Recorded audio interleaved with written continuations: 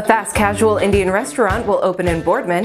Residents with dementia receive some unique therapy pets, and the Melnick Medical Museum has a new space in Cushwa Hall. This is the Daily Buzz.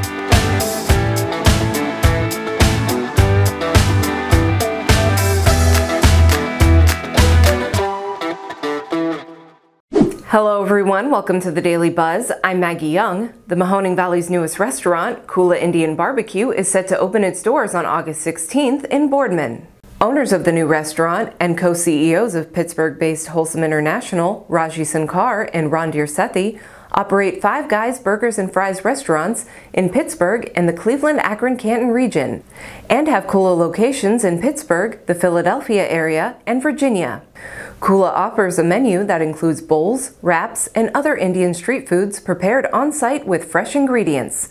Learn all about the new restaurant and George Nelson's story at businessjournaldaily.com. Residents at the Heritage Manor Rehabilitation and Retirement Community in Youngstown receive therapy dogs and cats, although these pets aren't your typical furry companions.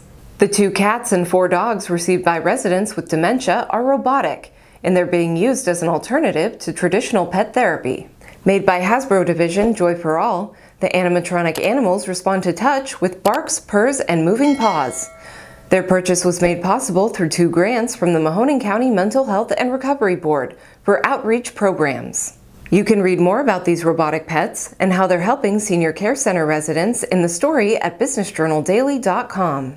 This fall, the Melnick Medical Museum at Youngstown State University will be opening up in a new space inside Cushwa Hall. Now with the larger space, the museum can show off bigger and newer items, including historic x-ray machines and the museum's iron lung, says curator Cassie Nespor. I think it's important to have a space where people can come and talk about how the history of medicine has changed.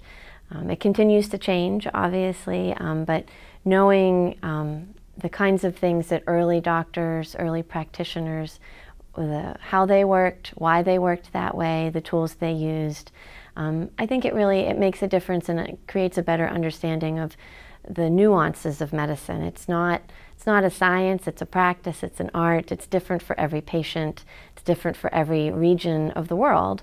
And so to have a space to be able to talk about those different subjects and connect them to things broader than just the pre-med students here, but also many different subjects and elementary school students and the public. You can hear more from Nespor in the 3 Minutes with interview and read more about the museum in the story at businessjournaldaily.com.